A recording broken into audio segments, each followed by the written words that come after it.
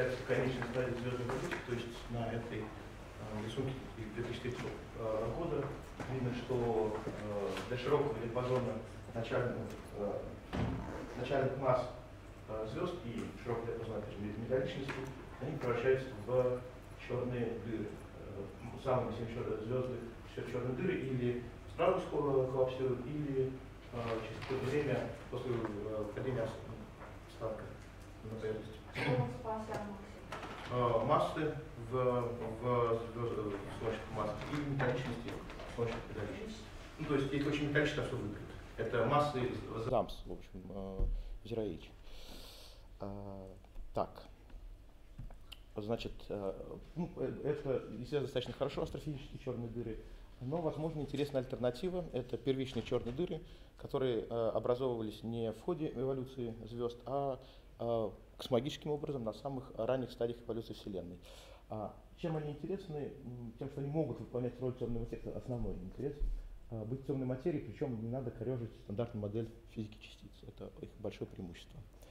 А, опять же, э, не разогре... некий э, интерес был, вообще интерес последние несколько лет к этой модели заметно усилился. Во-первых, потому что из-за неуспеха прямых, поиска, прямых поисков э, темной материи частиц, ну то есть там вимпов каких-нибудь, нейтралина, аксионов, чего, чего угодно, а также э, наблюдение, наблюдение э, слияния черных дыр, то есть гравитационно-волновых событий на LIGO. Э, достаточно большие массы э, объектов были, поэтому, в принципе, очень э, э, ну, как-то приятно э, вернуть сюда первичный черный дыр, если есть э, достаточно, чтобы они э, вкладывали, ну, даже 10 минус 3 при очень высокой интенсивности э, про эффективности слияния, это достаточно, чтобы ну, знач, значимая часть событий Лайга в этом диапазоне объяснялась слиянием на первичных черных дыр. А что такое омега большое? Омега – это а, отношение а, к, ну, не к плотности, не к критической плотности, в данном случае это к темной материи. То есть это доля в темной материи. То есть если критическая плотность, надо еще на 0,2 умножить. Вот. И, соответственно, э, часов галактики, э, тут, понятно, очень большое, 100 миллиардов, э, очень сюда омега, но в основном рассредоточены в протяженном ГАО, то есть радиусом сотни килопарсеков, сотня.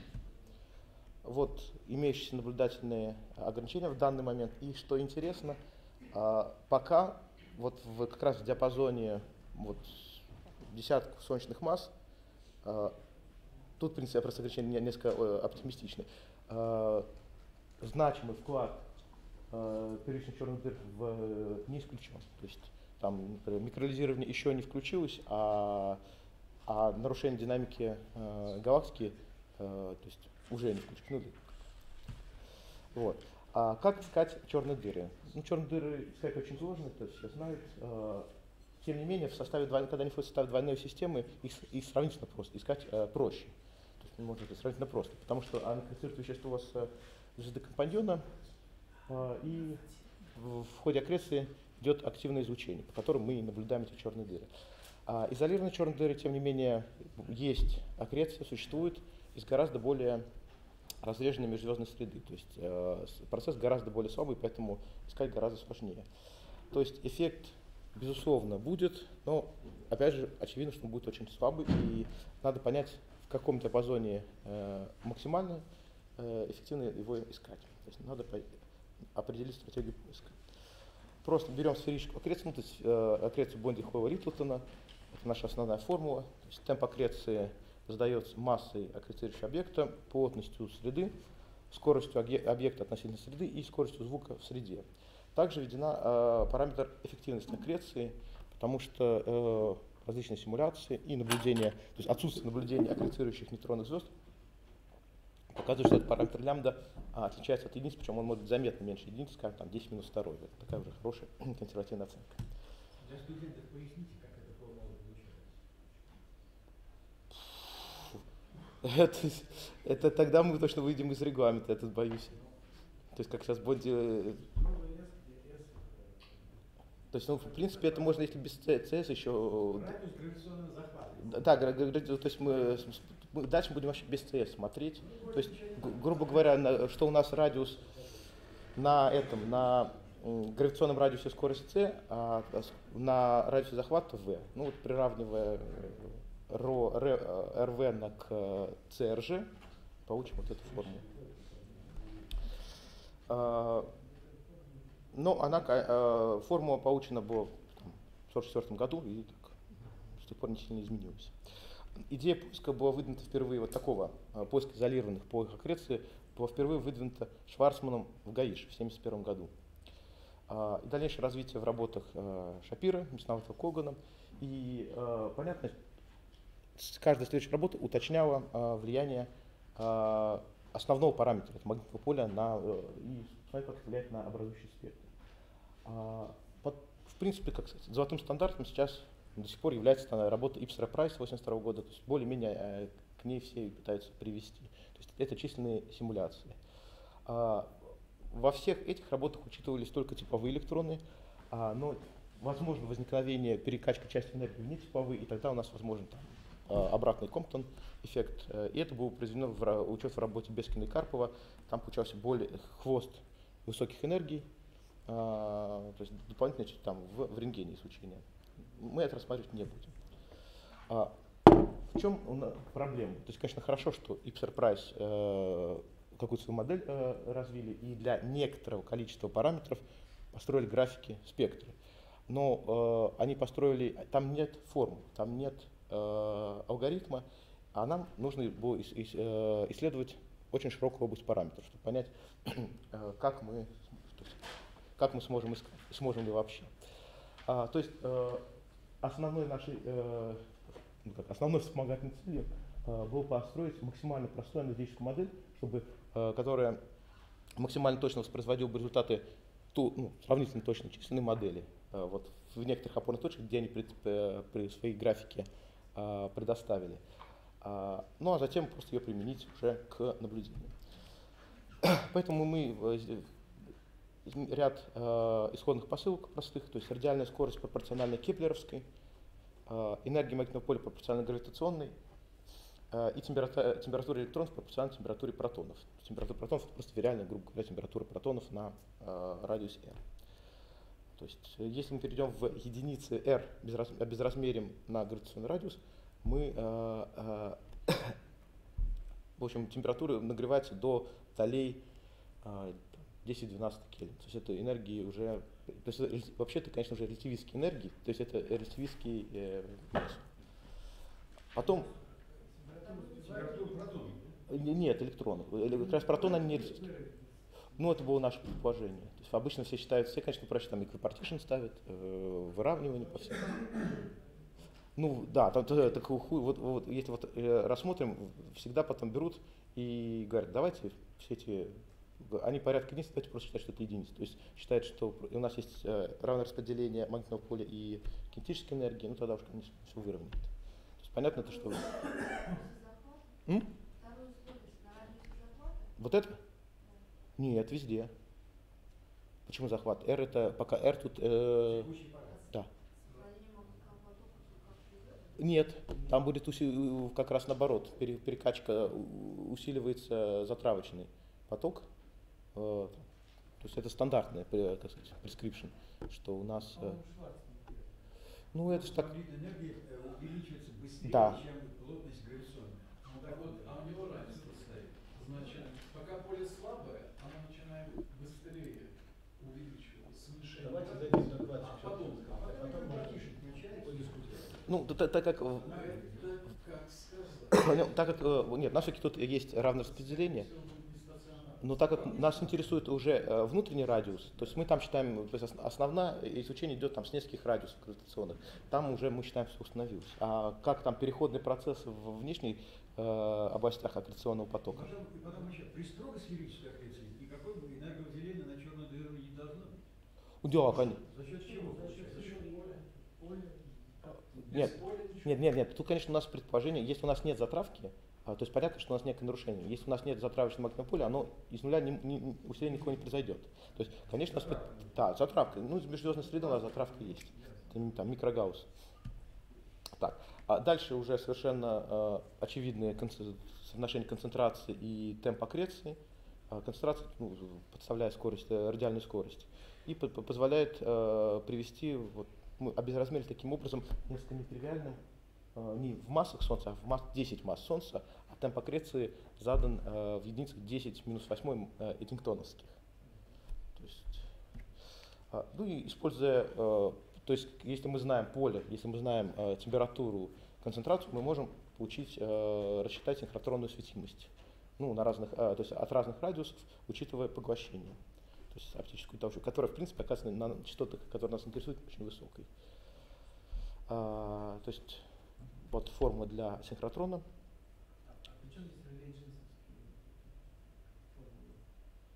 Беню э, это для оптической толщи. То есть э, во- вот э, у нас есть изучение, понятно, что какая-то оптическая, она по-настоящему очень маленькая в данном случае. Вот на частотах э, там 10, 12, 10, 13 она выясняется там, ну, не даже не тысячные, там, сильно меньше. То есть, ну, мы изначально ты знать не мог, даже вот еще меньше. То есть мы, то- мы просто для общности ее добавили, потом выяснилось, что она была не, не так важна для в наших э, области частот. все, то есть это очень простые уравнения, которые, опять же, э, интегрируя по слоям от нуля до бесконечности, мы получаем полное э, изучение, полный спектр э, изучения от аккреционного потока. Все, теперь можно сравнивать с э, Ипсером Прайсом. У них чуть-чуть другой, они используют па- параметр аккреции, где есть э, там, скорость и m с точкой и на, на, на скорость, на а, массу. Как мы а, проверили, что у нас нормальный? Мы взяли одну, одну их кривую, 10, с- где ма- 10 масс Солнца, параметр аккреции 10 минус 4, и подогнали, у нас был только один свободный параметр. А, Это параметр отношения температуры э, электронов к температуре протонов, эпсилон. Вот мы подогнали один свободный параметр, чтобы наша кривая воспроизвела, максимально точно воспроизвела Ипсера Прайса в одной, ну, как, в одной э, точке пространства параметров. А, как теперь проверить?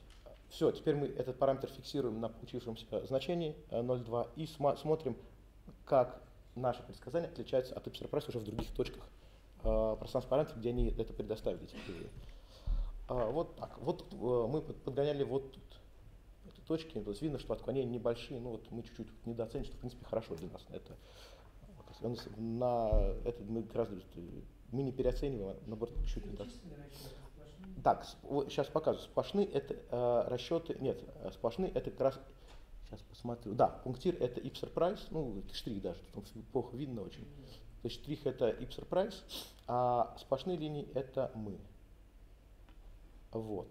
А, и подождите, нет, все-таки мне кажется наоборот, потому что мы как раз э, у нас э, нет, нет, а принципиальная разница между вами и что, что вы новое увидели? Ни- Ничего нового, мы, э, мы смогли сами для себя сделать алгоритм, который воспроизводит их результаты, причем для любого пара- пара- пара- параметра, для любой комбинации параметров.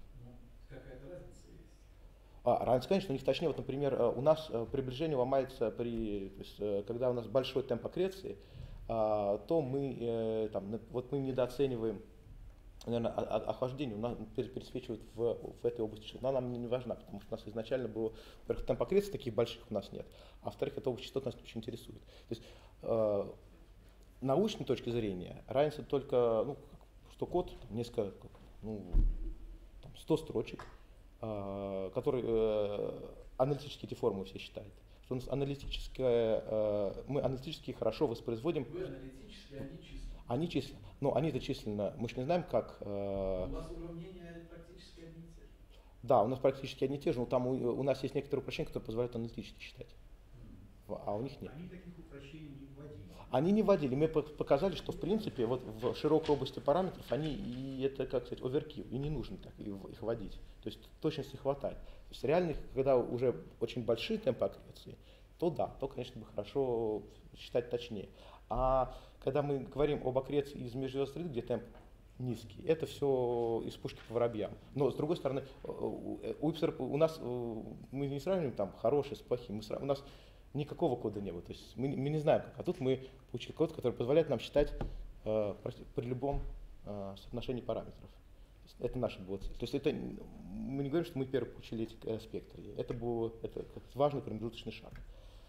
А, так, биометрическое, мы получили биометрическую, потому что проверить, где э, приближение нарушается, потому что, понятно, э, на каком-то моменте оно э, нарушается, и у нас биометрическое становится больше, чем mc квадрат аккреции. То есть это просто была некая э, проверка разумности.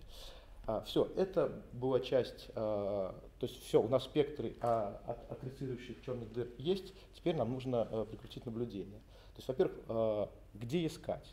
То есть нам нужно большой объем, чтобы, так как объекты достаточно могут быть редкие, а, чтобы был шанс их там а, застать. Конечно, хорошо высок, нужна высокая концентрация вещества, чтобы аккреции повысить. А, очень хорошо бы низкую скорость движения черных дыр из-за того, что, как мы видели в Бонди Хойле, это v в кубе.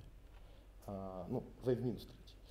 А, и вот вещь, которая нас э, уже наблюдательная, хорошо бы небольшие угловые размеры этой области, несмотря на ее большой объем, потому что поле зрения телескопов на этих частотах, ну да практически на всех, оно не очень большое. Это никакой не, это не широкоугольный, это не гамма-телескоп, там мы говорим о квадратных секундах. Поэтому Какие это частоты? Частоты э, в итоге... А, а вот, вот, вот, хороший вопрос. Давайте я назад покручу. Вот, смотрите. А, Вот тут у нас... 15 это оптика. Да, 10 две две- оптики. Да, да, да, да, да, извините, это, это, это правильный вопрос. Вот смотрите, в разумно где-то 10 максимум на 10 12 герц. То есть это терагерц, это субмиллиметр и дальний инфракрас. Да, и дальний инфракрас. Это да. А, и, соответственно, выбор у нас однозначно это центральная молекулярная зона. Во-первых, она очень большая, объем милли- миллионы кубических парсек, э, высокая концентрация 100 э, частиц, э, 100 частиц в кубическом сантиметре, маленькая площадь, квадратный градус. Ну, конечно, достаточно большое расстояние, что накладывает ограничения на чувствительность э, приборов. К сожалению, достаточно большая дисперсия скоростей, если 25 км, ну, 200 км в секунду. Э, не очень большая температура, то есть э, скорость э, там и километры, э, скорость звука при этих температурах. То есть, да, мы, мы с удовольствием им пренебрегаем. Вот. Вот как это все выглядит в инфракрасном и в радио. Тут видно сложная структура. Я, конечно, некое упрощение, когда я говорю, что с- в- 100 частиц в кубическом сантиметре, потому что там две фазы. В одной где-то половина массы сидит в фазе 100 э, частиц, а вторая более плотная, там 10 четвертых, 10 пятых. Вот как раз вот эти молекулярные облака. Теперь э, А э? А, это, это хороший вопрос. Это если, у нас- если мы рассматриваем первичных, они в голову. Они просто пролетают через это. А если это, э, ну это уж не диск, а бауш не все-таки.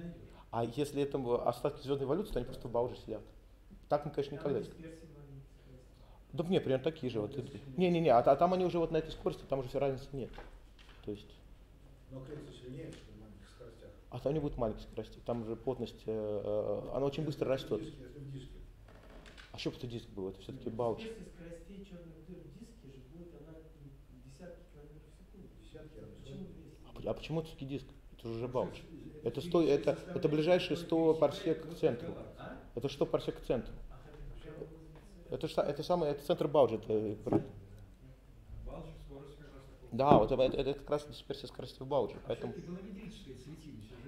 О, вот сейчас вы, об, этом скажу. То есть как, это как раз когда уже будет чувствительный инструмент, мы прикрутим. Так, значит, инструмент это миллиметрон, который, возможно, когда-нибудь через 15 лет полетит. И частоты, рабочие частоты это 10, 12, 10, 13. Очень большим полем зрения 36 квадратных минут. И э, Джеймс Веб, который, несмотря на все, тоже когда-нибудь возможно полетит. Там, еще, как с этим суперколлайдером не, бросит. А, у него э, поле зрения поменьше а, и частоты побольше. Чувствительность чуть побольше. Вот тут я показываю чувствительность. А, для спектры окрестных дыр, для, сначала для одной массы Солнца. Вот у нас э, разные темпы аккреции от э, 10 минус э, второй вот этих, то есть 10 минус 10 диктоновской до 10 минус 4 диктоновской. И вот э, важны кривые чувствительности. На миллиметрон надо смотреть, наверное, вот это, потому что это теоретическое с температурой зеркала 20 кельвинов, вот это с, реально с учетом эффекта путаницы, потому что поле зрения, а, то есть разрешение миллиметрона не, не такое большое, и много будет фоновых источников. То есть э, вслепую мы будем ограничены путаницей. А, у Джеймса такой проблемы нет, поэтому вот видно, что при, неких темпах аккреции мы можем уже пытаться то есть, Там более большие там ну, мы сейчас посмотрим, как это. Вот это 10 100, и 100 масс Солнца. То есть при 100 масс Солнца мы уже можем видеть. Теперь вопрос такой. А, и вот критический темп окрестности, критический темп окрестности, как при, когда мы можем увидеть а, черную дыру для данным инструментом. То есть, понятно, без путаницы э, очень хорошо, в принципе, показатели миллиметрона и Джеймс Веб, они сходятся на 30 массах Солнца, а с путаницей, ну, где-то 90, то есть есть шанс увидеть только на 90. Так. Теперь э, это было общее утверждение, просто мы поместили черную дыру э, и там меняли темп окрестности независимо от параметров среды. На мы поместили ее в центр галактики. Теперь подставим параметры э, центральной молекулярной зоны, то есть плотности, э, и при этой плотности мы видим темп окрестности совсем другой уже. 46 лямбда, то есть э, в таких единицах. То, то есть э, темп аккреции задается, он у нас уже задан параметрами среды, параметрами движения черной дыры. Э, единственный свободный параметр, то есть и, на, и нам нужно, э, то есть вот у нас была предыдущая кривая с точкой, э, и тут мы где-то проводим вот этот m с точкой, получено из э, параметров движения, и получаем уже критическую кривую. То есть э, при каких массах э, у нас лямбда, это лямбда больше, меньше единицы. То есть лямбда это у нас эффективность аккреции. Если лямбда больше единицы, значит нам энергии просто не хватает. Если лямбда меньше единицы, значит энергии хватает. То есть теоретически возможно наблюдение э, аккрецирующих черных дыр в этой области только э, для масс выше 30 масс Солнца. А, то есть, если аккреция эффективна, то масса и больше 30 солнечных даже при концентрации одна дыра э, на миллион кубических э, парсек. То есть одна черная дыра на всю центральную молекулярную зону. А теперь проблема. Если у нас э, лямбда значительно меньше, то, казалось бы, никакой э, детектирование невозможно. Потому что просто у нас темп аккреции сразу, если мы лямбду уменьшаем, он падает там, очень сильно и все, уходит под кривую. То есть возможно. А лямбда это эффективность. А лямбда это эффективность. Это, то есть, что, это, это множитель перед э, Бонди. То есть Бонди у нас это рассчитывается геометрически, а тут уже у нас добавляется вот этот множитель, э, описывающий саму эффективность э, аккреции. Еще при данной с точкой какое КПД? В смысле, Как раз лямбда. эпсилон нет, лямбда у него с точкой. А, Нет, нет, это- вот, вот КПД у нас тут получено. Грубо говоря, это мы просто построили Нет, графики. Ну, это одна десятая, две десятых. О, нет, и не, ну вот можно посмотреть. Меньше, меньше, 10 где-то 10 минус 4. 10 минус 4. То есть там сильно меньше. КПД, КПД вот синхротрон там совсем маленький, синхротрон, да, проработка. То есть э- это, это не оптически толстый и свободно-свободный. Там-то, конечно, можно было побольше подогнать, а тут не получится. Так, а, а теперь, п- то есть вот э, ка- казалось бы, невозможно найти, потому что, в принципе, все говорит, что лямбда маленькая. А, но с другой стороны, мы можем подвигать вот этот параметр, а, v. Каким образом? Если у нас достаточно много черных дыр в, э, в этой области, то есть много больше единицы, и они подчиняются максвеллскому распределению, то, очевидно, будут э, дыры, которые движутся значительно медленнее вот этого э, сигмы, и количество легко посчитать. Это просто v к сигме в кубе на общее количество.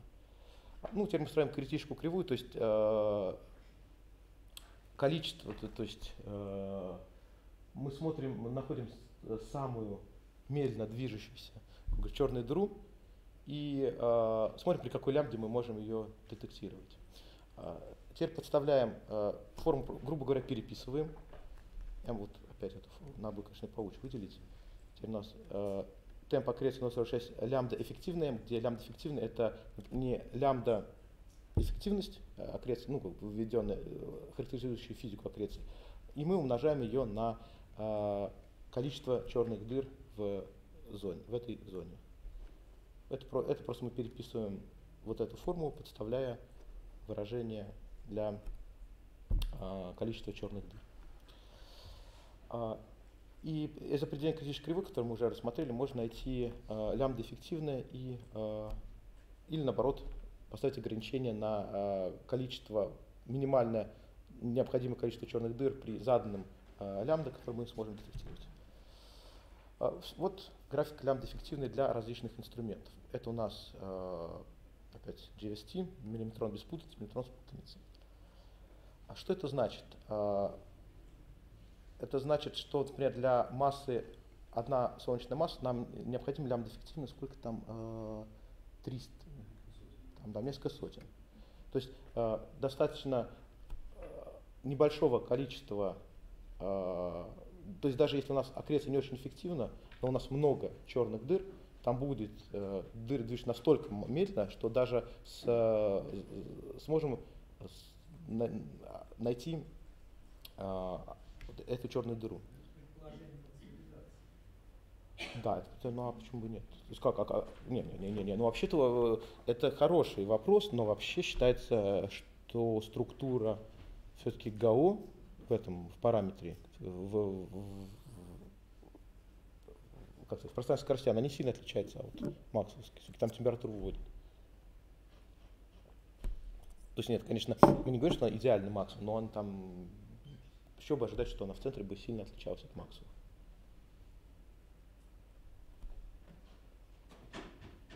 Вот.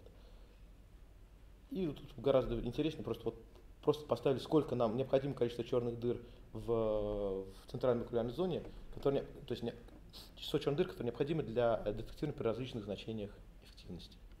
То есть это наиболее легко воспринимаемый график. То есть если у нас эффективность достаточно э, высокая, 10 минус 2, то у нас э, для одной массы, для 10 масс нам хватит там, пары трех тысяч. Для 100 масс вообще там несколько сотен. То есть не очень большой доля. И даже при, ой, при достаточно низких э, эффективности, 10 минус 4, мы что-то сможем, э, если черные дыры обладают большой массой, мы сможем их найти. А, так, после- то есть так как у нас э, критические кривые GVST легко аппроксимируются прямой, мы можем дать уже численные оценки. То есть вот эта зависимость, ну, вот, таким образом. То есть количество черных дыр э, в зависимости от эффективности и от массы, их э, концентрация и плотность э, вещества в, в- в форме черных дыр. Можно перевести еще, э, в долю э, первичных вклад, возможный вклад первичных черных э, дыр в темную материю. То есть тут, конечно, из в зависимости от, э, как мы описываем ГАО темной материи в этой области. Если у нас э, есть ядро, такое достаточно пологое, то много большой плотности не ожидается. Всего там 0,4, даже 4,92 ма- масс, э, солнечной массы в парсеке кубическом. Если КАСП, как стандартный Навара Фрэнк Вайт, то там гораздо больше. А, ну, конечно, не, не снижаем остаток, что точно будет, это э, в среднем будет где-то одна черная дыра там, 50, э, 5-10 солнечных масс в э, 10 э, парсеках кубических просто от эволюции, как остаток звездной эволюции в этой области. Можно э, и можно параметризовать просто э, для э, КАСПа, э, то есть для различных моделей распределенной материи мы можем э, просто делим и, и- и говорим, что если у нас э, проф- э, профиль с э, ядром, то, конечно, нам нужно, чтобы очень много э, черных дыр, то есть не меньше чем 50% э, черной, темной материи из черных дыр, чтобы у нас был бы шанс их найти при таких низких, э, при 10 минус 3, при параметре эффективности 10 минус 3. Э, Дела обстоят лучше, если у нас КАСП, тогда нам достаточно, чтобы, то есть мы уже будем чувствовать поря- по- порядка процента при, при- при той же низкой эффективности. А, Ну, конечно, это все, скорее всего, будем видеть в основном э, остатки звездной эволюции, потому что даже если оценка 0,1, э, то есть одна э, в слишком оптимистична, там еще два порядка для оптимизма. То есть, да, предположим, они ошиблись в 10 раз, там не одна в 10 кубических парсеках, одна в 100 кубических парсеках. Все равно будем видеть там минимум 20 или 30 объектов этого типа будет наблюдаться. А, Наблюдение, заключение, все, заключение, наблюдение в этом диапазоне оптимальны. А, Понятно, кстати, почему. Потому что, во-первых, тут близко к пику, во-вторых, тут, э, возможно, будут чувствительные инструменты, и в-третьих, дальше мы просто ничего не видим, потому что там уже начинается поглощение. То есть уже наблюдения для GVST, они забиваются э, поглощением вот в, в высокой области частот. Лучше всего искать в центральной области галактики. А, чувствительности а, миллим- этих обсерваторий будет достаточно, чтобы обнаружить черную дыру массой больше 30 масс Солнца, если а, сферическое окрест на черную дыру эффективным. Опять же, эффективность очень сильно зависит от свойств среды, там, от турбулентности, от магнитного поля, это все очень сложно. Ну, и тем не менее, даже при меньшей эффективности, э, а мы не ожидаем эффективности ниже, чем 10 минус 2, там 10 2, минус 3, а, ог- наблюдения на Джеймс Веббе смогут поставить сильное ограничение на распространение черных дыр. То есть, э, если у нас э, для примера масса черных дыр, если мы хотим ограничить вклад э, первичных черных дыр в, темную материю э, и параметр эффективности порядка 10 минус 2, то ограничение сразу же будет 10 минус 3. То есть очень э, серьезные. Всё. Спасибо за внимание. Я просто хочу наверное, вопрос задать. Если у нас есть э, э, на расстоянии нескольких килопарсек от центра, у нас э, объем, занимаемый молекулярным газом, в такой же плотность, как здесь было бы принято, значительно больше, чем на расстоянии там, сотни парсек. Почему э, эта область э, менее, так сказать, чувствительна? поиска? Какая? Ну, я имею в виду вот несколько килопарсек от центра, где, где мы- мо- молекулярное Орион. кольцо, кольцо, коль- фактически, А. Вот. Плотность молекулярных облаков такого же порядка, 10 второй частиц. А какой у него будет э, поле зрения? э, вот тут у него квадратный градус, там, наверное, будет уже сотни квадратных градусов. И, Ну, здесь. то есть надо, это, это, хоро- это мы э, сейчас смотрим, Это на самом Сейчас деле. мы, мы используем уже следующий шаг, если не это, то что? Потому что сначала посмотрели Орионе. Но Орион он очень большой, и там особо Ну, много не большой. Несколько килопарсек от нас и несколько килопарсек от центра. Это, Ну да, то есть там фактор несколько. Это очень, это мы обязательно посмотрим, потому что очень хороший декап от Надо центра. обратить внимание. Да, это. да. Вопрос, пожалуйста. Это важно. Вообще, какая светимость характерна? Сейчас На пока- миллиметров. Сколько секунду? а, я бы сказал, бы 10, 10 минут 32, ну, то есть э, солнечный. Близко к солнцу. 32 33 А крест не будет ограничен, сказать, по давлением излучения? Нет, это же сугубо-ньютоновский. Борис, А у меня просто, а как вы можете эти объекты отличить от звезд? Да. Важно по быстрой переменности. А, кстати, там будет переменность вообще-то будет. Я имею в виду переменность, ну, конечно, не такая быстрая, а в эпохе наблюдения, там все равно будет несколько. А во-вторых, а, очень просто. А, звезды, в, если нам нужно два, две точки. Звезды в субмиллиметре не будет. То есть я просто, если построить график, э, А коричневые кадры? Да. И всякие молодые звездные объекты. Молодые вот молодые- молодые звездные объекты, смысле, э, Нет, это, это, это, это молодые звездные объекты будут примерно столько же, кстати, если- смотреть, Да. а- ожидать вот по- поэтому. Но молодые звездные объекты, они будут все-таки группироваться в, область, в, в гигантских облаках, ну, то есть в областях более плотных, а не в 10. все равно вы не сможете сказать, что вот этот объект у нас черная дыра, этот молодой звездный объект. Кандидаты. Это нет, конечно, Просто это- с статистической точки зрения вы можете рассказать. э, нет, ну, то есть придется, конечно, на, на- накладывать каты, то есть что если мы наблюдаем в область, например, там, э, стрелец B2, то мы выкидываем это, потому что это, скорее всего, контаминация. Я просто понимаю, потому что молодой звездный объект, там вообще какой угодно спектр может быть. Там, посмотри, там два типа, и у него может быть переменность. Да, вот, вот те спектры, которые вы показывали, они... Они могут быть- они могут быть абсолютно- Не, что ну, то есть я просто э, см- э, была же эта, таблица, потом я ее почему-то в интернет ищет, как там, Ребетео или кто, э, где можно было строить просто вот спектры молодых звездных объектов. Там вообще все что угодно можно построить. Там еще там А два типа. синхротрон, поляризация не может быть? Это-. Это, это хороший вопрос. Э, ну, мы написали поляризацию квадрата, потом мы выкинули, потому что э, мы не можем на нее ответить. Давай, вопрос. А я могу добавить счет. что На Джеймс поляризацию нельзя будет. А, тем более. Очень важный Никто не момент. может. У вас как-то вот это все с магнитным полем, все в среднем. В действительности, когда есть магнитное поле, то появляется мощнейшая нестационарность. Представьте, что у вас магнитное поле вморожено в падающее вещество, и вещество падает, частицы удаляются, а они вытягиваются. И где-то вот так поле, где-то вот так перезамыкание возможно, и уже появились работы, что э, при э, вазе, скажем, сферической аккреции на черную дыру, значит, вот э, появляется область с перезамыканием, ускоренные частицы, электрическое поле и вообще, так сказать, не... Ну вот это как раз Бескин э, с Карповым и и делали. Когда они делали? В 2005 году. Ну, Айн, да. А вот оно так. Вот, э, как все уже забыли, как э, Тау. Ну, как бы, 15 лет. а Ну, Только это сложнее. Это, э, это, это только добавит. Это не, это не изменит Еще э, в вопрос. эту часть, это добавит Это, это будет перемен. С мощнейшей... Перемен тут тоже будет из того, что Да, да. пере- а перемены будут- Ма- А Там будут еще раз, да, важный момент, Борис, что из-за этих эффектов, связанных с нестационарностью, характерные частоты это будет РЖ на С, да? Я думаю, повыше все-таки еще будет. Да, миллисекунд. Нет, там будут разные, э, э, там будут разные но, эпохи переменности. Там же еще в зависимости от турбулентности, спектра турбулентности э, среды. Да, И мы будем просто, как это, он летит и проверяет э, то, как неоднородность на масштабе его радиуса захвата. То есть и он будет еще медленный перемен сюда тоже будет. Там из-за турбулентности масштаба.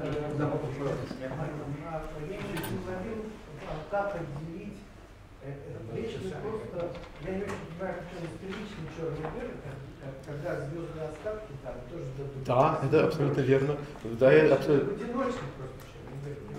А, не, а там написано изолированный. А изолирован, А. так что они могут быть просто... Да, да, да, я, так, я, я скажу, что их будет на два порядка будет. Намного, потому что перечисленных дыр не- нет, а эти есть. Так что я-то считаю, что там будет нормально жить. Еще вопрос последний. Нет, спасибо. Спасибо.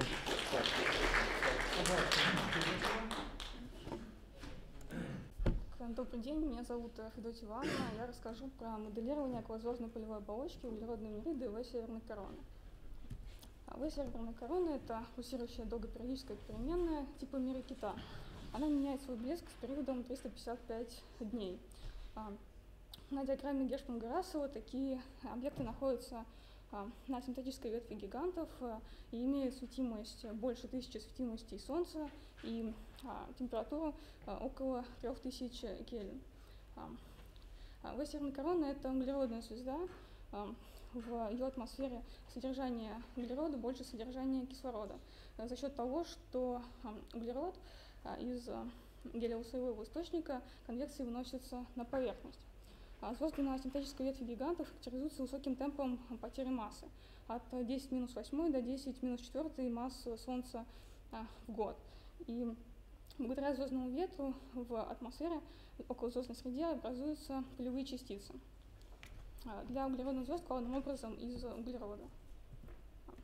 А, То, что, на, на то, что а, у в северной короны есть полевая оболочка, свидетельствует а, следующие факты. Во-первых, это избыток излучения в инфракрасной области, а во-вторых, э, присутствие в а, спектре а, эмиссионной особенности на 11,3 микрометров, которые обусловлены пылинками из э, карбида кремния.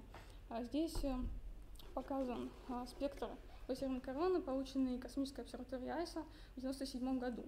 А Здесь а, по оси X а, длина волны в микрометрах, а по оси Y поток а, на а, единичный интервал длин волн.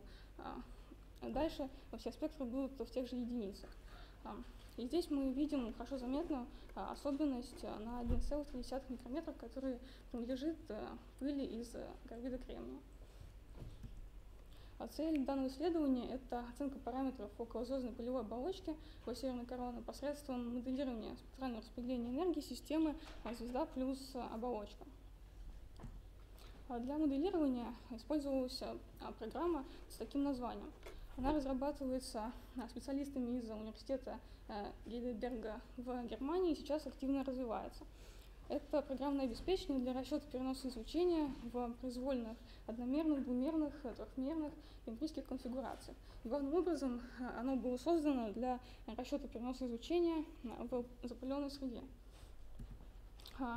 Э, Для моделирования были использованы следующие наблюдательные данные. Во-первых, это спектр, полученный прекрасной космической обсерваторией Айса в 1997 году на разных фазах кривой блеска.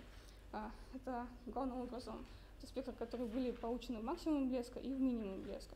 А также УВ-фотометрия, проводившаяся а, на телескопе Южной станции МГУ, и фотометрические данные GHK и а, полученные в Крымской лаборатории ГАИШ. А также в э, было использовано наблюдение а, спутника РАС на 12, 25, 60 и 100 микрометров. А, Здесь э, представлены а, спектры северной короны, полученные в обсерватории Айса. Для а, фаза изменения блеска 0,96, а, синяя кривая, и а, 0,54. А, зеленая кривая, соответственно, в максимум блеска и в минимум блеска. Они используются для моделирования. А Здесь а, представлены данные фотометрии на примере а, фильтра G. А, Это кривая блеска за все время наблюдения. Звезда меняет свой блеск с периодом 355 дней, но по вот этому изображению видно, что средняя, средний уровень блеска также меняется, приблизительно с периодом 8300 дней. А, а, Следовательно, а, для аппроксимации кривых блеска во всех фильтрах а, UBV, HK и LM а, была использована функция, которая представляет собой, а, во-первых, а, ряд Фурье третьего порядка а, по периоду 355 дней, а, плюс периодическое изменение среднего блеска а, с периодом а, 8300 дней. А, Здесь, а, э, здесь показана фазовая диаграмма, свернутая с периодом а, 355 а, дней э, за вычетом долгопериодического тренда, который показан на вот этом рисунке. А, Значения а, получившихся аппроксимационных кривых блеска во всех фильтрах UBV, GHK и LM а, были взяты на даты наблюдений спутника Айса, и этими точками были дополнены вот эти вот спектры и использовались для дальнейшего моделирования. А, Для моделирования необходимо было задать спектральное распределение энергии а, внутренней звезды. А, Для этой цели были использованы синтетические спектры углеродных звезд из вот этой вот работы. Каждый спектр характеризуется следующим набором параметров. Это эффективная температура, логарифм ускорения свободного падения, масса звезды, металличность и отношение С к О. Как показал анализ, последние четыре параметра не оказывают существенного влияния на спектр в ближнем и К-диапазоне. Поэтому выбор спектрального распределения энергии для звезды определялся только температурой, а светимость задавалась перенормировкой спектра. Здесь показаны а, синтетические спектры для разных а, температур от а, 2400 Кельвин до 3100 Кельвин, а, снизу вверх. И а, также нанесены спектры Айса, полученные в максимуме и в минимуме блеска. Мы видим, что как на спектрах Айса, так и на синтетических спектрах а, присутствуют а, полосы поглощения на длинных волн 2,5 микрометра, а, 3 микрометра и 3,8 микрометра.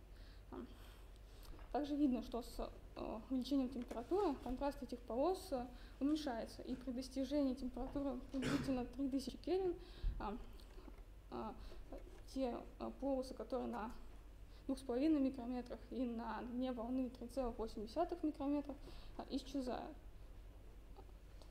А, То же самое мы видим в спектре Айса для максимума.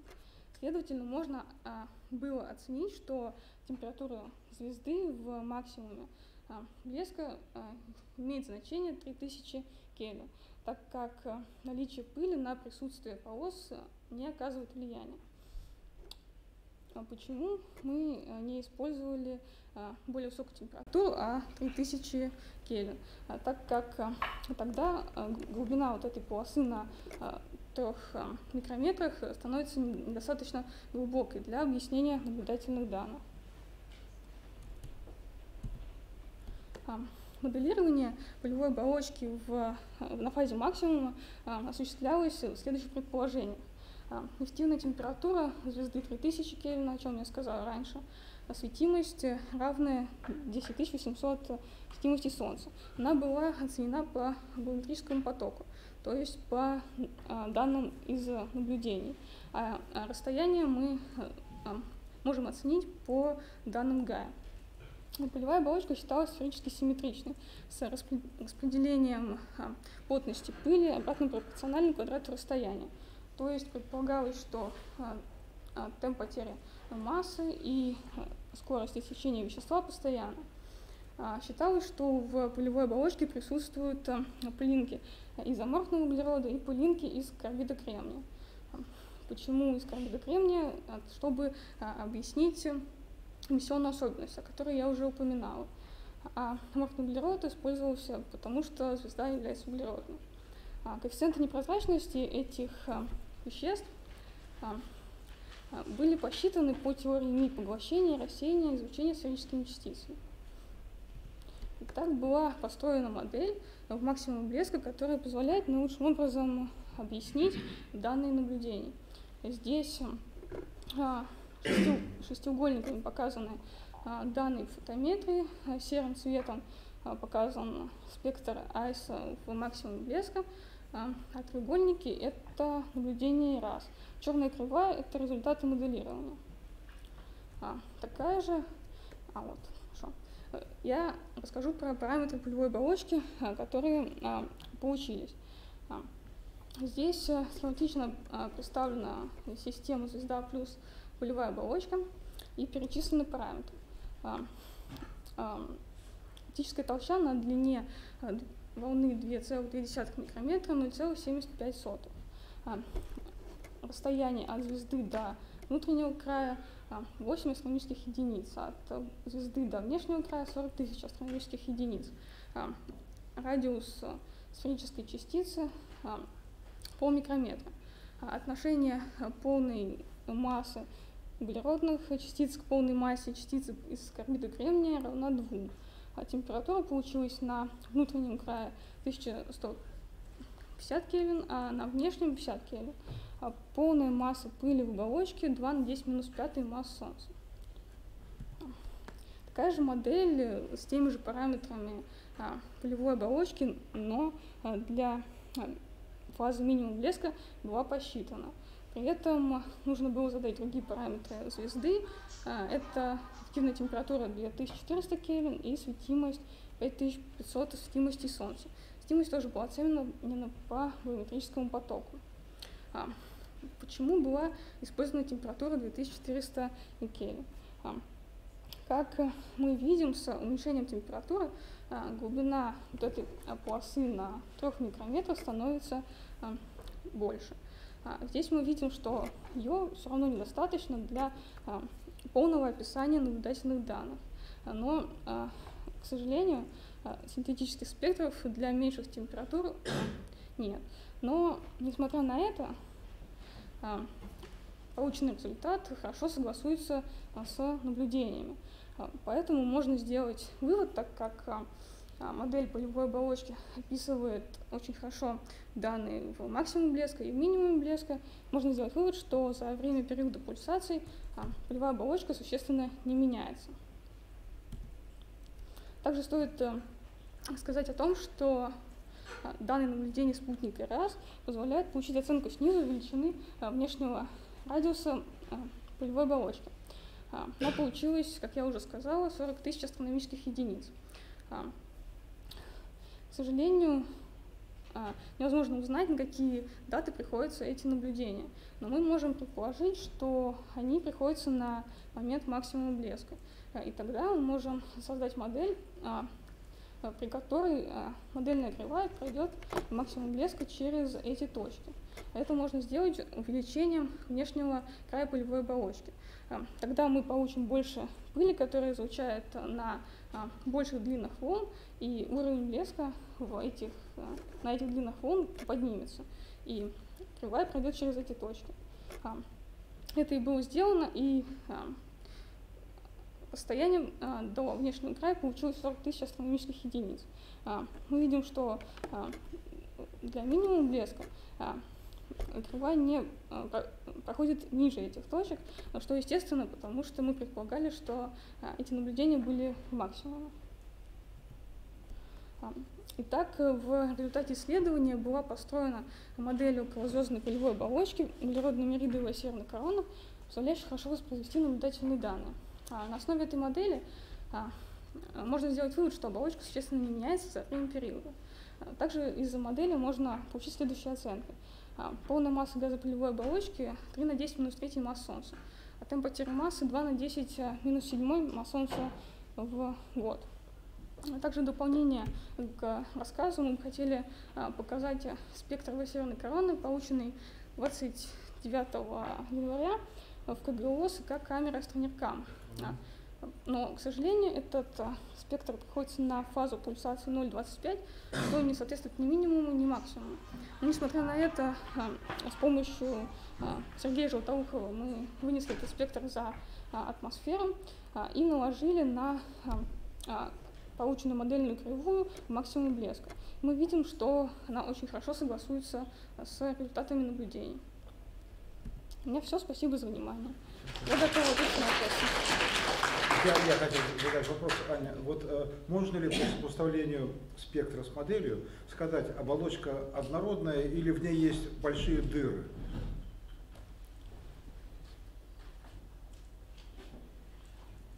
Ну, на самом деле я затрудняюсь сейчас ответить на этот вопрос, потому что я не моделировала оболочки с дырами, к сожалению, пока еще.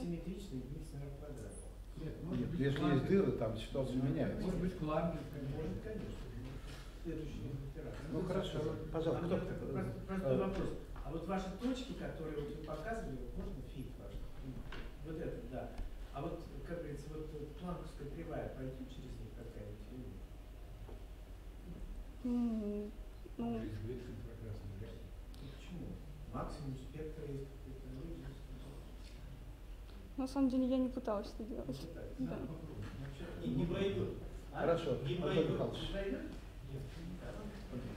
Вот вы там сначала давали массу оболочки 10 минус 5 массу Солнца, а сейчас дали в конце 3 на 10 минус 3. Это то, что 10, Почему такое различие? 10 минус 5 это масса э, пыли только, а 3 на А. 10 это, это пыль и газ. А, вот так. Да. То есть доля пыли в оболочке примерно там 10 минус Ну, 2. ну, то есть, Так, Галя. Скажите, ваша процедура моделирования, она позволяет вообще какие-то сделать выводы об уровне вот, а, ошибок вот этих всех а, фиксированных параметров? Ну, там, Устойчивый задача. ну, в смысле, плюс-минус сколько на все? На все ответы? на все, то есть на вот эти Ну, параметры. ну, хотя бы на, ну, просто как, для порядка. Вот Д1, 11 тысяч 50 Кельвина. 50 это реально или это, так сказать, сам 11 тысяч или 11 Ну, тысяч? при- приблизительно на самом деле. Гарантируете вы там две последних цифры своих? Или. Еще вопрос есть? Да, пожалуйста. Вопрос э, вот тренд, э, э, тренд э, моделировался как да, самом начале. Э, просто из Нет, это просто синус плюс косинус. А, зачем вообще моделировать, если вы, у вас просто есть?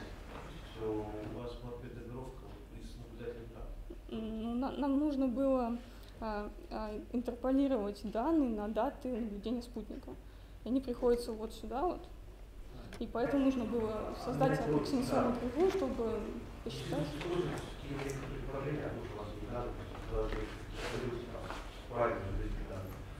А, не-не-не, почему? Результат. Я интерполирую не синус, а а Какая природа вот этой долгопериодической? Если честно, это неизвестно пока. А второй вопрос. А вот что понимаете?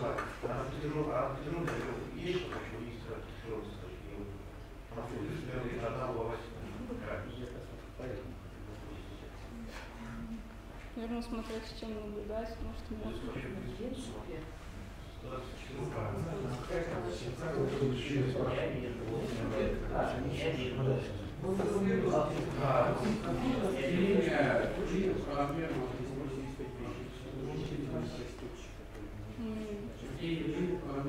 Мы брали только а, полмикрометра, мы фиксировали размер.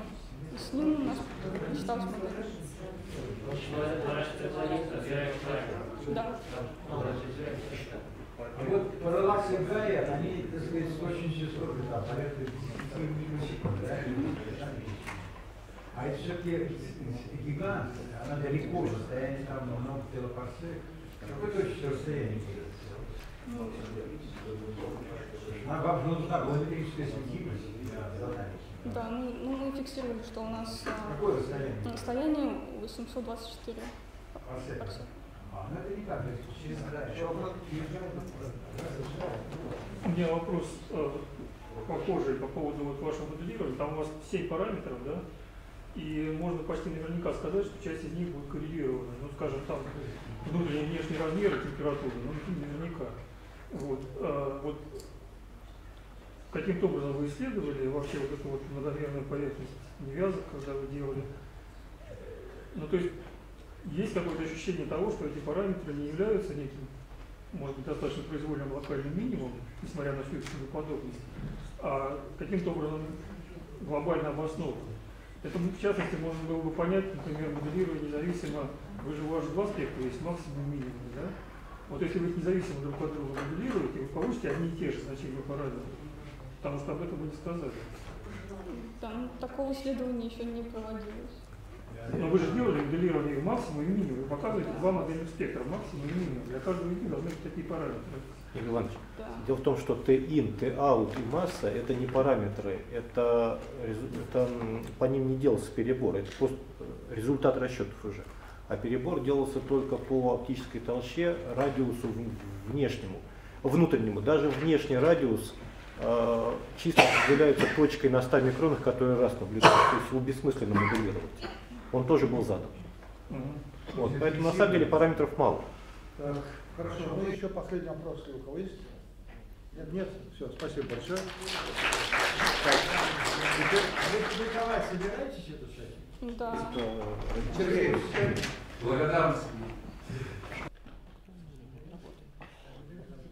Хорошо, я хочу рассказать про систему, разработанную мной систему автогидирования на 2,5 метровом телескопе Кавказской горной обсерватории. Ну, для начала немножко расскажу про сам телескоп. Соответственно, это новый телескоп ГАИШ, построенный не, построенный не так давно, диаметром 2,5 метра, построен по схеме Рич Кретьена с французской оптикой, которая обеспечивает качество изображения до 0,3 секунды, что меньше, чем синх, который бывает в Кавказской обсе- обсерватории, ну, почти всегда дает достаточно большое поле зрения 10 минут без корректора, что мы сейчас и используем. И есть корректор кома, который можно установить в оптическом диапазоне. Будет поле до 40 минут, и он имеет 4 установ... 5 установочных площадок, площадок для приборов, 4 фокуса Несмеда и один фокус внизу Кассигрена, но это более подробно видно на схеме телескопа. Краску видно. Соответственно, устан... Система автогидирована на телескопе всего две, они установлены на одном из боковых фокусов Несмеда и на Кассигреновском фокусе, который внизу. На этих двух фокусах, соответственно, расположены два штатных прибора, на которых выполняется наблюдение. Это оптическая камера фокусе Кассигрена и инфракрасная камера Астрониркам, на, на автогиде, для которой выполнялась большая часть тестирова- тестирования системы, расположенная на одном из балконов на первом фокусе Несмеда. Обсудим, давайте обсудим строение узла автогида. Соответственно, здесь показ- показана фотогра- фотография самого узла со снятой камерой и, соответственно, закрывающей систему крышкой. И для того, чтобы было понятнее, нарисована схема самой механики узла. У нас есть сама камера, которая, гидировочная камера, которая снимает изображение. Вот здесь она на снимке, вот она здесь обозначена на изображении. Свет в нее посылается плоским зеркалом, на, которое вынесено на лапе ближе к центру поля. Вот оно здесь на, вот оно, вот оно здесь на схеме. Система может осуществлять два, два вращения. Это перемещение камеры по транслятору. Вот, вот, стрел- стрелоч- стрел- вот стрелочка, стрелочка на схеме и вот этот мотор, который мотор и ось, по которому движется камера на изображении. Со- И вся система может вращаться вокруг центра поля. Соответственно, нам доступен достаточно, больш- до- достаточно большая область для получения изображения звезд камеры автогида. Центр мы не используем, так как если камера будет расположена там, она будет затенять поле зрения самого прибора. Ну и с, кра- с- другого края поля зрения уже ограничено винитированием и диафрагм- диафрагмами в самом телескопе. Поле зрения для фокуса Несмита для камеры автогид достаточно широкая, примерно от 10 до 20, от 10 до 30 угловых минут, но для оптической камеры поле зрения будет сильно уже, так как и поле зрения самой оптической камеры больше, оно составляет 10 минут, в отличие от поля зрения инфракрасной камеры 4,7 минуты. И там сильнее ограничивает поле зрения с внешней стороны диафрагмы, диафрагмы самого телескопа. Камера, установленная генеровочная кам- камера, это камера фирмы Простелика, она с пикселем примерно 10 микрометров, экспозиции, которая позволяет наше программное обеспечение с ней делать до полутора секунд, и она обеспечивает поле зрения гидировочной камеры 64 на 48 секунд. Темновой, темновой ток есть, но на таких маленьких экспозициях, которые, которые э, позволяет наше программное обеспечение, он в принципе не значим. А байс мы можем померить и, соответственно, вычесть его из всех кадров. Алгоритм работы ну, достаточно, достаточно простой.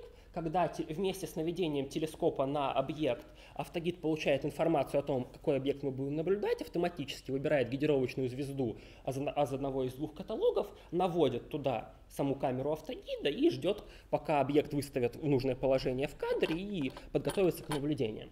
После этого... Гидировочная, ну, у нас поле зрения большое, в принципе, почти всегда есть десятый в нем. Да, но на 12 он работает, мы проверяли. Это будет важно в C1, потому что там сильно уже кольцо, в котором есть. Ну, у нас кольцо большое, 8, 7, 9, 10, 11 иногда. Почти всегда попадается. Дальше мы захват, захватываем координаты. идет по звезде в интегральном свете, да? Еще раз? Не очень понял. Звезда в интегральном свете. Да. Угу. То есть там никаких фильтров перед камерой автогида не стоит. Захватываем, захватываем опорный кадр и, если нужно, подстраиваем гидировочную звезду так, чтобы она находилась ближе к центру кам камеры автогида, потому что все-таки и модельное, и модельное наведение камеры недостаточно совершенно, и из-за того, из того, что объект может находить, мы не точно знаем или не захотели точно задавать координаты объектов в осях самой камеры, основной камеры, в которой мы его наблюдаем. Ну и дальше, соответственно, выполняется, собственно, гидирование. Из возможностей программы это ручной ввод гидировочной звезды, который использовался раньше для на, на, настройки автогида, ну или мало ли вот, захотели по Сириусу погидировать. Вот. Также скрипт автоматически выберет звезду из локального каталога Тихо-2, если нет интернетов, с помощью которого он запрашивает гидировочные звезды в визире из каталога гидировочных звезд. Управление может осуществляться через общий интерфейс управления всеми системами телескопа Apex, ну или через ключи командной строки в более ручном режиме. И программа может мерить оптимальную экспозицию и рассчитывать координаты наведения лапы автогида для объекта, расположенного в любом месте основной камеры так как поле зрения основной камеры у нас 5-10 минут, в зависимости от камеры, а автогида, соответственно, не более одной минуты. Достаточно большой проблемой было точное определение центра звезды, потому что собственной системы фокусировки у камеры автогида нет, наблюдаемой во внеосевом пучке, и хорошо видны внеосевые операции телескопа. Ну, астиг... Например, лучше всего здесь виден астигматизм. На картинках представлены, представ, представлены фотографии формы звезды, которую, которую видит камера автогида, в зависимости от расстояния от оптической оси. Соответ, поэтому стандар, стандартные процедуры определения круглых звезд нам не очень, не, а, работали не очень хорошо. Было протестировано достаточно много методов определения, определения координат звезды, некоторые из них представлены на экране, и было выяснено, что наиболее точным является выделение маленького квадрата вокруг звезды, ну, одним из предыдущих методов, сейчас пока используется астрометр нет, и дальше мы считаем центр масс этой части изображения, чтобы получить именно центр самой звезды. Я считаю, что именно вот ошибка определения вот этого центра вносит наибольшую погрешность в саму систему автогидирования, потому что звезда большая, и распределение яркости, ну, распределение яркости внутри вот этого изображения звезды, в принципе, достаточно сильно меняется состоянием атмосферы. Поэтому приходится усреднять достаточно много кадров, чтобы получить достаточно точное измерение координат генеровочной звезды. 15 минут, 17 минут, это, это расстояние от, от, от, от, от центра. Угу. И масштаб вот где-то 5, сек... 5 секунд. Ну, всего, всего ну, где-то до, за, 30, за 30 минутами уже винитирование сильно идет. Вот. Ну, тут... Хорошо. Дальше. К сожалению, это было нужно, потому что, к сожалению, хоть и оптика у телескопа хорошая, механика работает не очень хорошо. Вот мы протестировали работу автогида. Здесь желтым графиком показана ошибка ведения, ошибка ведения телескопа в течение времени. Ну, как мы видим, примерно за, неск- за несколько сотен секунд телескоп убегает примерно на одну угловую секунду, что достаточно критично, особенно для спектральных наблюдений, где суммарные экспозиции могут быть гораздо больше. Причем скорость вот этого убегания сильно зависит от положения звезды на неб- небесной сфере. То есть здесь он вначале почти не рос почему-то, вот есть участочек, где убегал гораздо быстрее. С автогидом, ну, с автогидом, соответственно, все, хоро- все хорошо, ну, звезда остается в пределах ну, даже меньше одной секунды, тут выброс, если посчитать сигму вот эт- э, средняя по этой штуке, получится примерно 0 0,3-0,4 угловые секунды. С помощью, мех... с помощью узла автогида, который конструктивно достаточно сильно похож на механический узел управления третичным зеркалом, мы протестировали меха- алгоритмы установки, установки мото- останов- алгоритмы, обра- алгоритмы управления моторами и, основной и остальной механикой автогида, чтобы потом использовать полученные наработки в проектировании об- улучшения узла третичного зеркала, с которым как раз сейчас связаны проблемы именно наведения телескопа в фокусах Несмина. Естественно, было проведено два основных теста. Вот этим тестом мы поместили звезду и лапу автогида в центр поля зрения, то есть она затеняла пучок для основной камеры, и определяли эллиптичность вращения ротатора автогида, и заодно определили, где именно на кадре где, име- где именно на кадре основ- осно- основного инструмента находится центр вращения автогида, что важно для еще более точного наведения лап, лапы автогида. Как раз после того, как мы определили этот центр, в принципе, он перестал промахиваться. ну, пока, нас, пока мы не встретили, зв- мы не, встре, мы не встреч, после вот этого теста мы провели несколько наблюдений и не встретили еще ни одного промаха, сильного промаха лапы автогида на звезду. Единственное, что некоторые звезды, все-таки в каталог... некоторые звезды, которые есть в каталоге, почему-то на небе найти не удалось. Ну, для этого, ну, возможно, возможно, сильные переменные. Ну, ну, как бы он, он гайд стар каталог. Я надеялся, что их отфильтровали, но видно все-таки не очень хорошо. Ну, для этого в программе есть автоматически, если он не видит звезду, он автоматически наводится дальше и проверяет еще две. Я искренне надеюсь, что этого хватит, чтобы звезду все-таки найти. И второй проведенный тест – это стабильность установки камеры автогида. Мы одновременно наблюдали три звезды. Одну в центре поля зрения наблюдала основная камера астрониркам, и лапа автогида ездила между двумя другими звездами, проверяя стабильность установки. Ну, например, нет ли какого-либо гистерезиса в установке лапы автогида. Мы проверили скоррелирован- ска- скоррелированность полученных данных, так как это как раз другая иллюстрация того, что телескоп ведет достаточно плохо. Этот тест продолжался примерно 20 минут. Тут очень большой разброс по азимуту, но это потому, что наблюдение проводилось на большой высоте, около 70 градусов. Поэтому, чтобы получить реальное смещение в секундах, надо еще умножить на, на косинус высоты. Данные достаточно скоррелированы, и оценки показывают, что стабильность установки лапы автогида ну, меньше, чем 0,4 секунды, что для целей гидирования полностью достаточно. Спасибо за внимание. Мы проверяли, точность гидирования, она не зависит от э, зе- зе- зенитного угла какого-то объекта. Ну да, да. Точность, точность гидирования, ну, она может зависеть, потому что гид конструктивно не может отличить ошибку ведения диротатора от ошибки координат. Потому что он находится далеко, соответственно, если не ведет диротатор, мы принимаем это за смещение звезды. Ну вот вы не сравнивали, вот скажем, на, на разных? Тестов не проводили.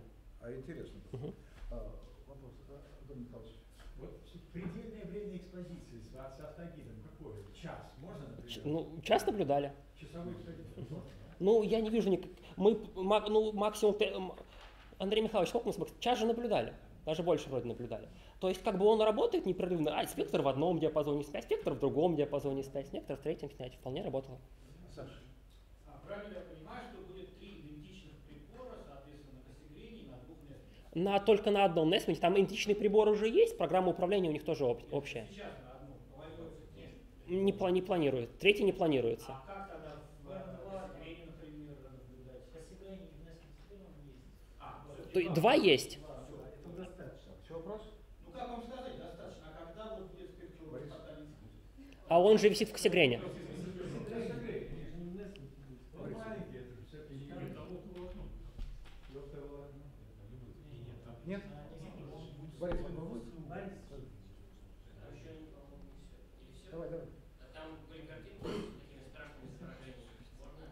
Да, мне не очень нравится. Есть изображения, они их просто прокомментировали. Мгм. Дело в том, что изображение при таком Да. перехватывает не весь пучок. Мгм. Он перехватывает только часть пучка. Поэтому то, что видно, это обрезанное, очень сильно дефокусированное изображение. Это не астигматизм. Да, хорошо. Спасибо. То есть, если, если, То есть поле кривое, да? если, да не поле кривое, да. Поле кривое. Мы, мы проверяли тесты зависимости, фокуси- фокусируя, фокусируя телескоп, там получалась парабола, как и должно быть. Мы думаем над этим вопросом целесообразности, потому что достаточно сложно.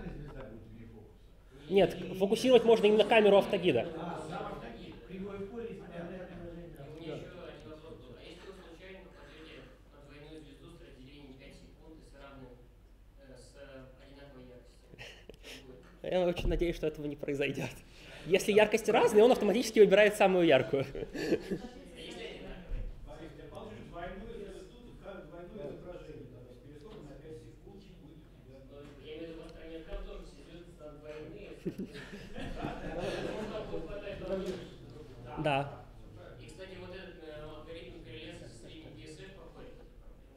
Ну, к сожалению, у нас нет среднего PSF.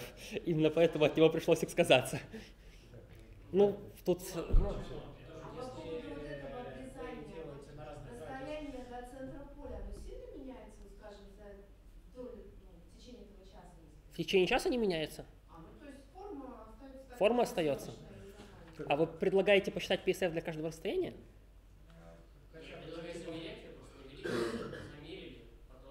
И коррелировать. Хорошо, надо, я протестирую. А вот у меня такой вопрос. Когда будет щель спектрографа стоять, можно будет с, с этой камеры э, часовые экспозиции делать? А щель, щель стоит после. Он для этого в основном разрабатывался. Для спектральных экспозиций. Так, еще вопрос? Все, благодарю. Так, ну. Давайте, значит, э, благодарим всех участников. И примерно через месяц следующий.